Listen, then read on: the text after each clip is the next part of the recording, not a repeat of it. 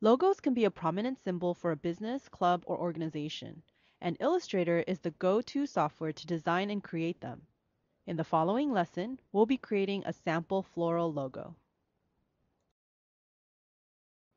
As always, we want to start by creating a new Illustrator file. Let's go to the File menu and select New. Let's name our document Logo. And from the New Document Profile list, select Print. Then from the Size list, select Letter. Let's convert our units to inches. Then select Landscape for the orientation.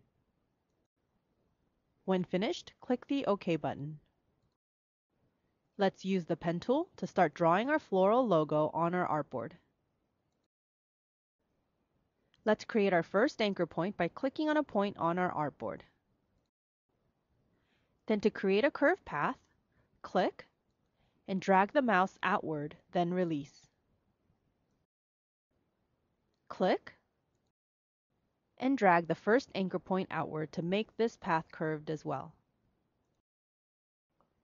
To create the rest of our flower petals, use the selection tool to select our petal, then select the rotate tool. Click right below the petal to set our center reference point. Then click on the petal and hold down the Alt key. Then drag the petal to the right and release to create a copy. If you need to, reset the center reference point. Then, repeat the previous steps to create four more petals. Click on our petal and hold down the Alt key. Then drag in order to create our copy. Click and hold down the Alt key. Then drag and release. You can use the selection tool to adjust the petals.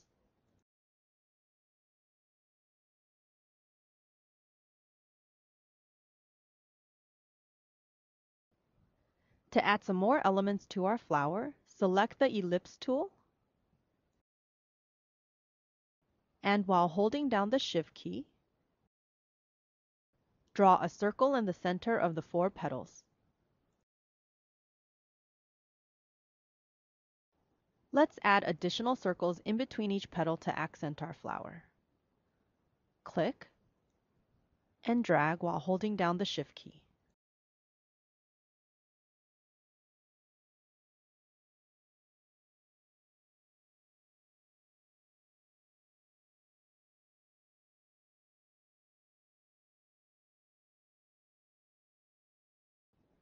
Now let's move on to creating our stem.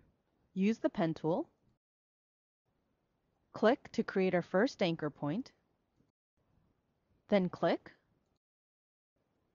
and drag our second anchor point to curve our line. Click back on the second anchor point. Then click and drag to create another segment.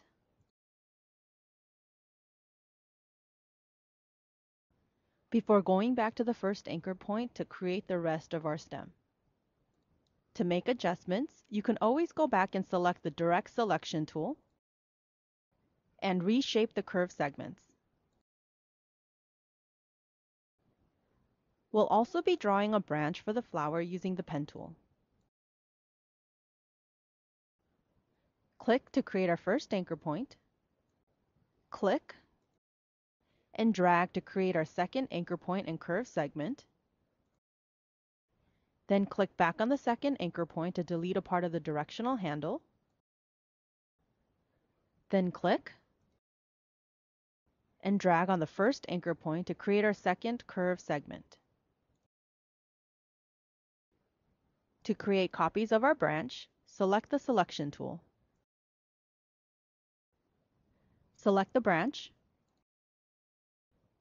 right-click, point to transform, and select Reflect. Under Axes, select the vertical option. Then click Copy.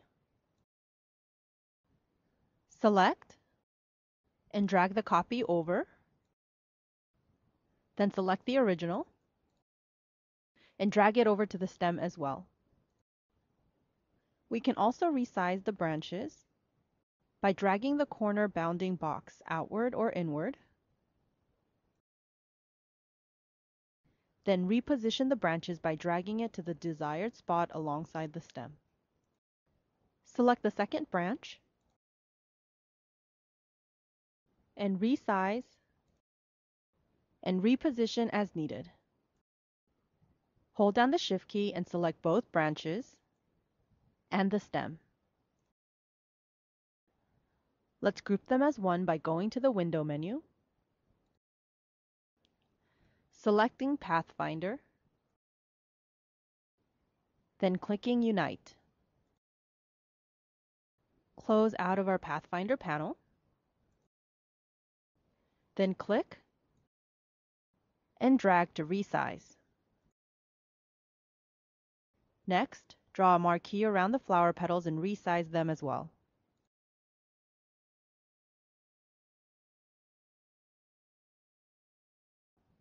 Drag the flower above the stem. Hover the mouse just outside the corner bounding box and use the double arched arrow to rotate the flower. Next, let's draw some leaves using the pen tool. To draw a leaf, create an anchor point, click, and drag on the second anchor point to create the first part of the leaf. Then click again on the second anchor point before creating three more anchor points outlining where the leaf will attach to a branch.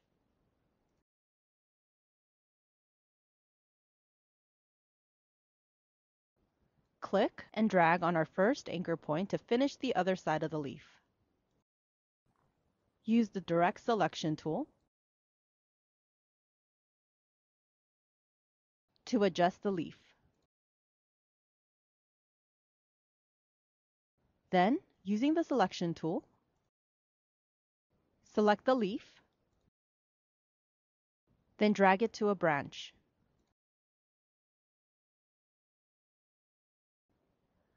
Right-click, go to Transform, then select Reflect. Under Axes, make sure that Vertical is selected, then click Copy. Select and drag the copy to the other branch. Reposition and resize each leaf as needed.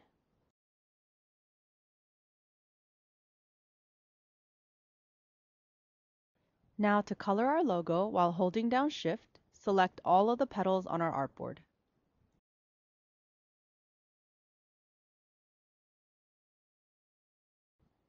Double-click on the fill box in the Color panel, and in the Color Picker dialog box, go to the hexadecimal field and enter EC008C. This is another way to select a color for your object. When finished, click OK. Let's color the center circle of the flower next. Double-click on the fill box.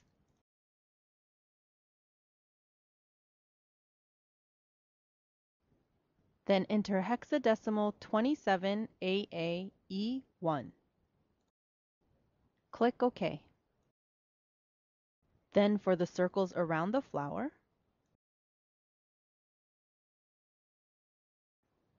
We'll go back to the fill box.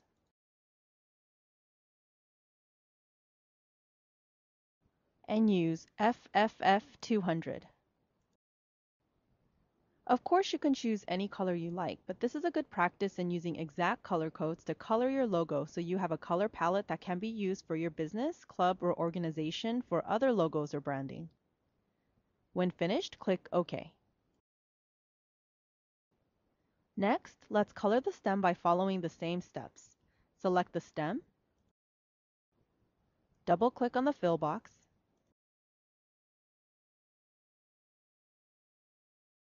and use hexadecimal A97C50. Click OK. Now let's select both of the leaves by holding down the Shift key. Then double-click on the fill box.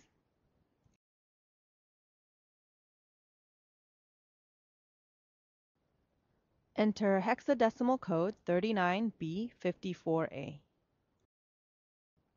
When finished, click OK. In the final part of our logo making exercise, let's add text. Select the Type tool and click on the artboard. Open the Character panel and let's use font Nueva Standard. Type F, then using the Selection tool, select our letter F, then while holding down the Shift key, Drag the corner handle to resize the letter to match the size of the flower graphic.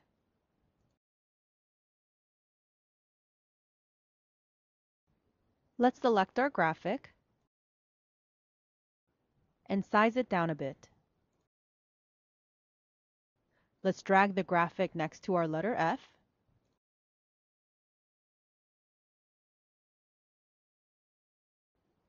and resize it a bit more. you might have to go back and forth between the letter and the graphic just to make sure that they are the right size for each other.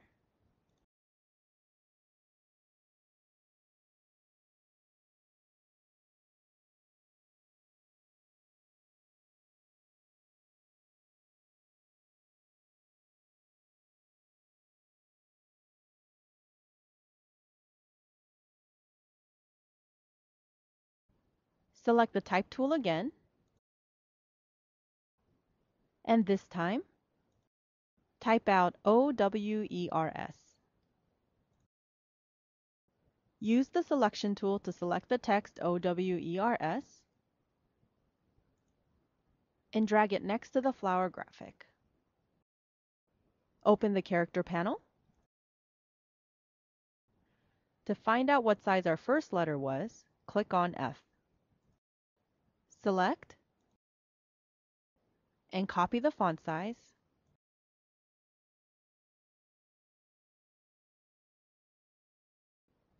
Then on letters O, W, E, R, S,